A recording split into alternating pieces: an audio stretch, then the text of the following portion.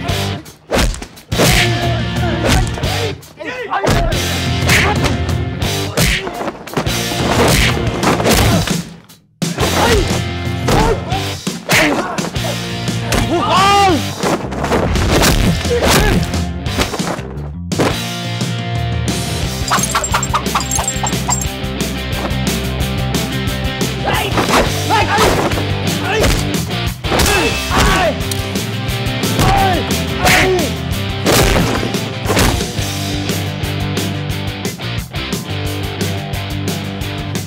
มีลูกแล้วเว้ย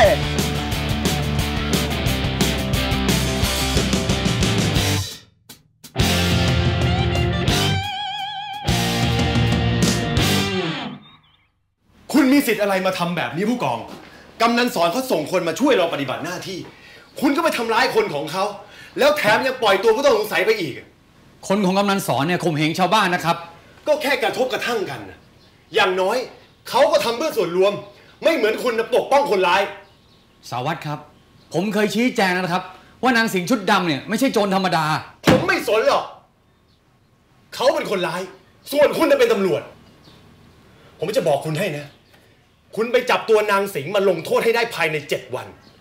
ถ้าไม่อย่างนั้น ผมจะสั่งพักงานคุณ สารวัตรออกไปได้แล้ว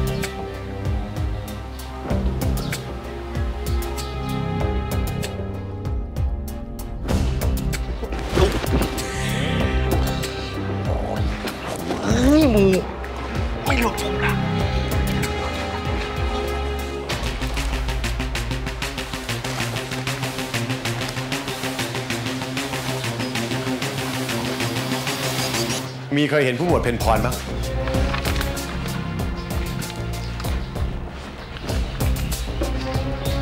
ไม่มีใครเห็นครับผมสารวัตร ถ้าเกิดว่ามีใครเห็นผู้หมวดเพนพร รีบตามให้มาพบผมด่วน ครับผม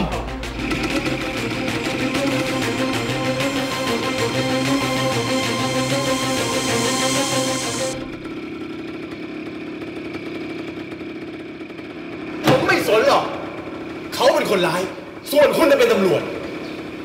ผมจะบอกคุณให้นะ คุณไปจับตัวนางสิงห์มาลงโทษให้ได้ภายในเจ็ดวัน ถ้าไม่อย่างนั้น ผมจะสั่งพักงานคุณ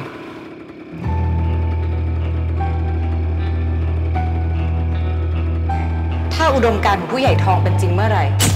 คุณจับฉัน ฉันจะไม่หนี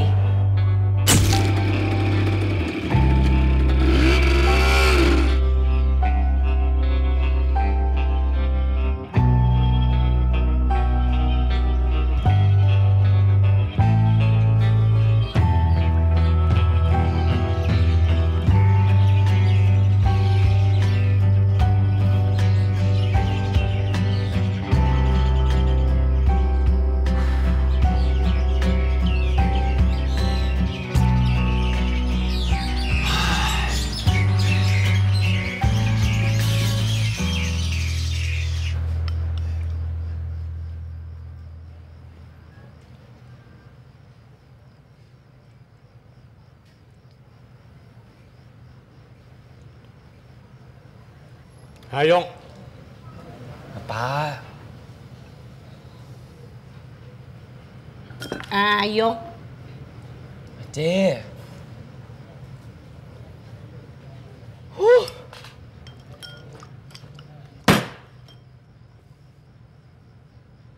ลือบอกว่าสิ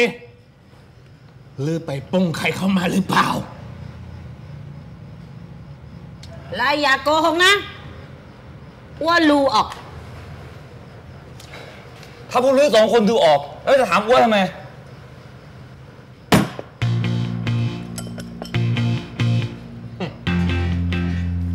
ติงลูกผู้ชาย กล้าทำก็ต้องกล้ารับ หรือไปปล้นใครเข้ามาหรือเปล่า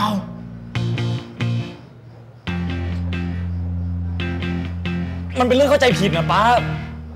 อ้วนเป็นลูกป้านะอ้วนจะปล้นใครเขาได้ยังไง ก็ท่าทางของลือมามีพี่ลูกนี่ว่าขณะคุณหมอวักษณะยังมาถามหาลือเลย ว่าเมื่อวังลือไปไหนมาทำไมไม่ไปรับอี คุณหมอถามหาว่หก็ใช่น่ะเซ่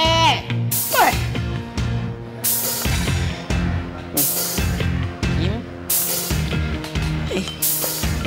กินข้าวกินข้าวยังไม่นอนเหรอครับกำลังจะนอนค่ะ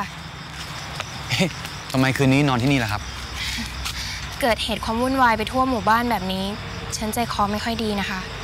ก็เลยว่าถ้ามาอยู่ทางนี้เนี่ยเผื่อมีอะไรฉุกเฉินเนี่ยจะได้ช่วยกันทันเอ่อผมต้องขอโทษแทนสารวัตรด้วยนะครับ ที่ทำให้เรื่องเล็กมันกลายเป็นเรื่องใหญ่อะครับ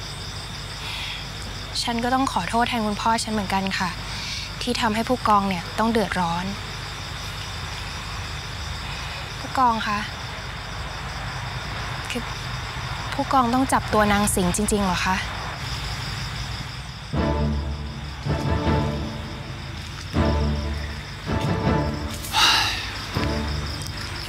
ถึงนางสิงห์จะต่อสู้เพื่อชาวบ้าน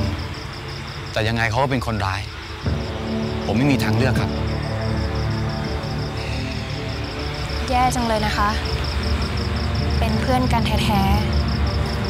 ๆ ถ้าฉันเป็นผู้กองเนี่ย ฉันคงจะไปบอกเขาให้รู้ล่วงหน้า บอกเขาให้รู้ตัวกันเหรอครับ เพื่อความยุติธรรมนะคะ แล้วก็เพื่อแสดงน้ำใจครั้งสุดท้าย ในฐานะเพื่อน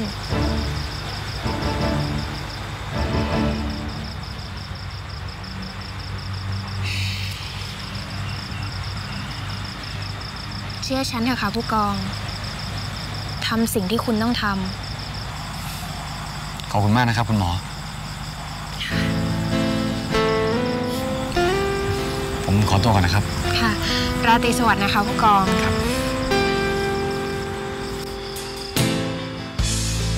แค่สิ่งเดียวที่สำคัญขอแค่สัญญาอะไรจะผ่านเข้ามาก็เพี ยงเชื่อใจกันและไม่หวั่นไหวเธอต้องทำใจ ตัวเธอเองให้ดี ต้องทำ